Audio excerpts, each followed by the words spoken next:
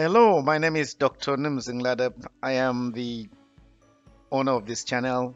Very happy to welcome you to this episode of tutorial on your health. I believe that you will gain a thing or two and I will be very happy if you could comment, subscribe or share this video. Thank you very much and enjoy your time with me. Bye bye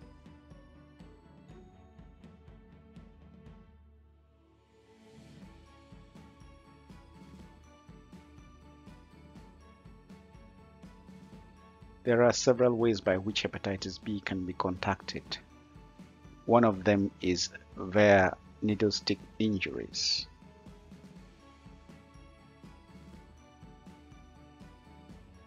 When needles are capped after usage on a patient that is infected by hepatitis B, an infection is possible. For example, this did not need to happen. This is how hepatitis B virus can move around the body.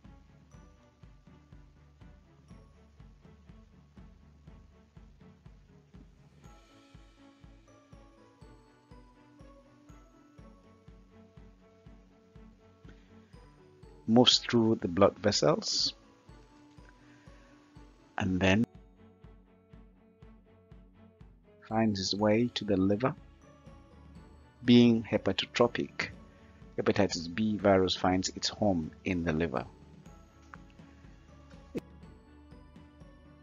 then multiplies within the liver tissues, while in the liver it replicates using the resources of the liver cells.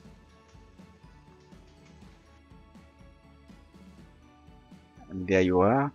The overall outcome is acute inflammation of the liver leading to swelling, pain, jaundice, and extreme tiredness and fatigue.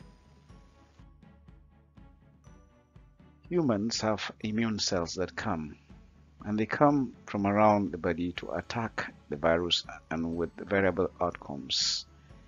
Some of them would be successful whereas some might not be successful.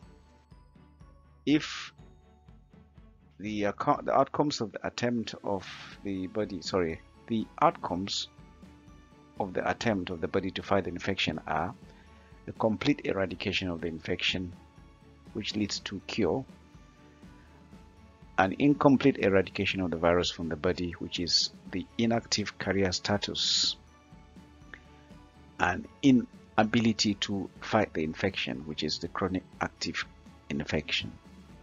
Here you have lots of the virus actively multiplying and causing problems within the liver.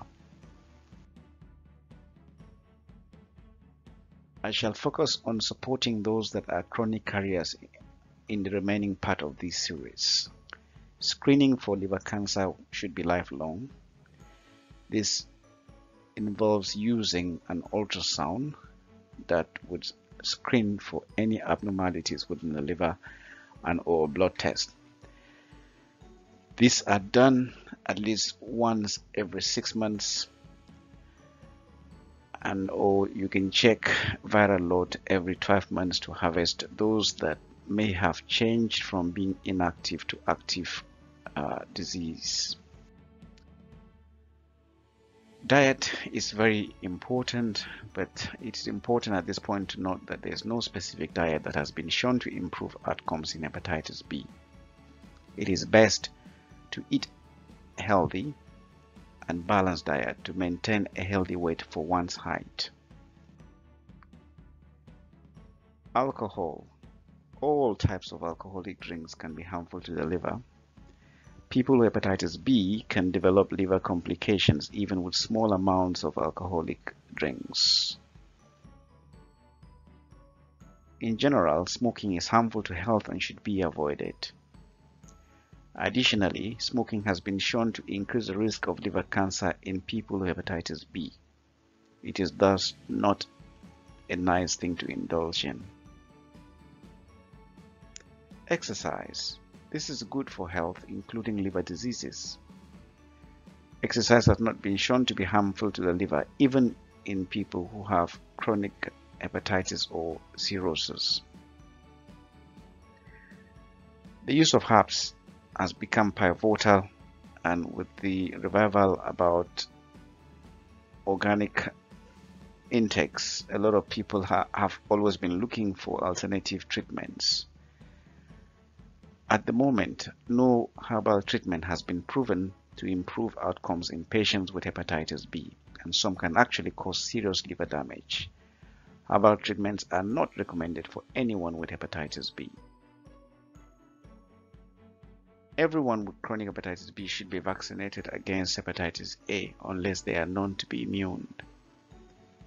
This is an important component of care and would be relevant if you would support your liver to stay well and healthy. Until then, thank you. I'm looking forward to welcoming you onto another tutorial.